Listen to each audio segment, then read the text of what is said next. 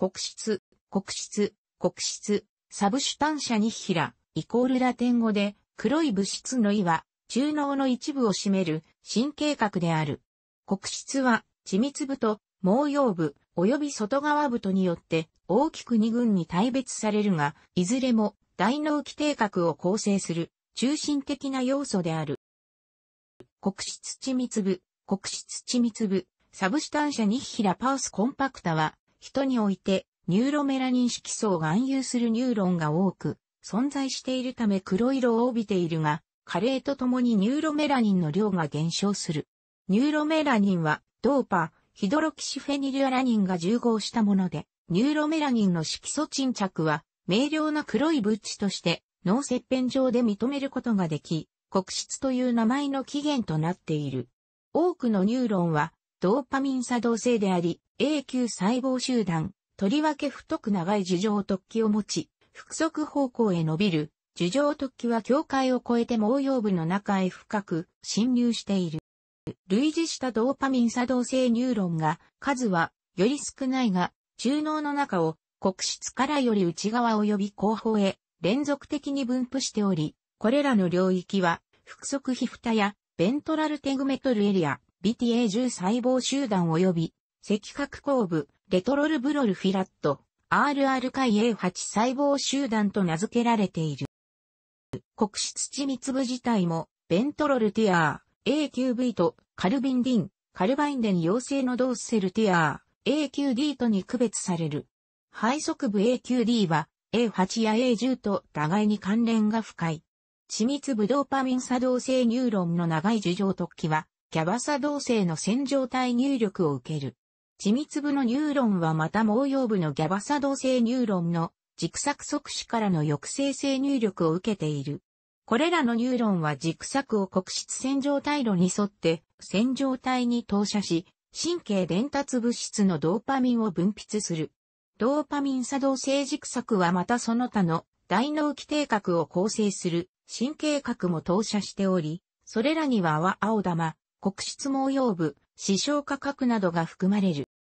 黒質緻密部ドーパミン作動性ニューロンの機能は複雑である。当初考えられていたように運動制御に直接関わるものではない。すなわち、ドーパミンニューロンは新規かつ予想外の刺激によって報酬予測を可能とするような刺激がない状況では一時報酬によってまた学習中に活性化される。ドーパミン作動性ニューロンは、どのような行動が、報酬、例えば食物や、セックスなどをもたらすのかを予測するための学習に関与すると考えられている。特に、ドーパミンニューロンは予測していたよりも報酬が大きい時に発火する、すなわち報酬予測誤差信号を担う、ということが示唆されており、これが強化学習理論における TD 誤差信号に類似することから、大脳基底核の神経回路において、強化学習が実現していると考える仮説の有力な根拠となっている。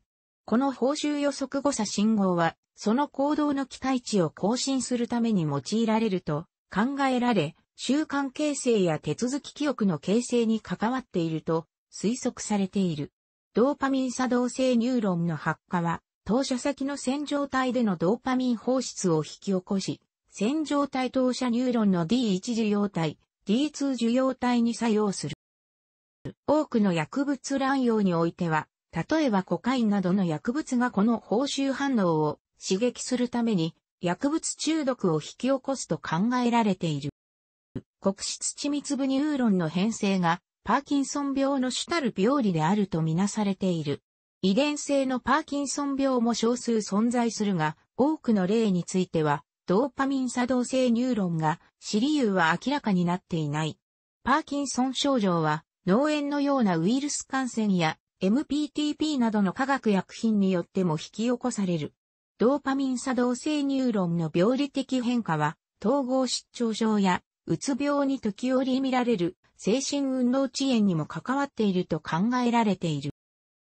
黒質網様部、黒質網様部、 substantia nigra pars reticulata は、ギャバ作動性ニューロンを高密度に含む神経核であり、泡青玉内節と同様、大脳基底核の出力核であるとみなされている。高頻度の発火を持続しているのが特徴とされる。線状体からの直接実出力によって、黒質毛葉部の発火が一時的に抑制され、黒質毛葉部の投射先の活動を脱抑制することが運動の開始に重要だという見方が一般的である。投射線維は、視床の一部などへ出力する。黒質網様部への主な入力は、線条体からのギャバ入力、直接路、淡蒼球内節からのギャバ入力、間接路、視床下核からのグルタミン酸入力などである。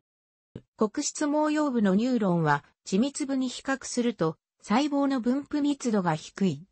緻密部のドーパミン作動性ニューロンよりも、淡蒼球のニューロンに、形態は類似している。網様部ニューロンは、線条体、または淡蒼球外節からのギャバ作動性入力を受けるとともに、視床下核からのグルタミン酸入力も受けている。多くの網様部ニューロンは、ギャバ作動性であり、主軸索を運動性の視床核、馬角へ投射する。馬角ニューロンは、グルタミン酸作動性であり、運動性の皮質領野へ軸索を投射している。また、上、丘や脚胸皮二角など、脳幹の一部にも出力する。楽しくご覧になりましたら、購読と良いです。クリックしてください。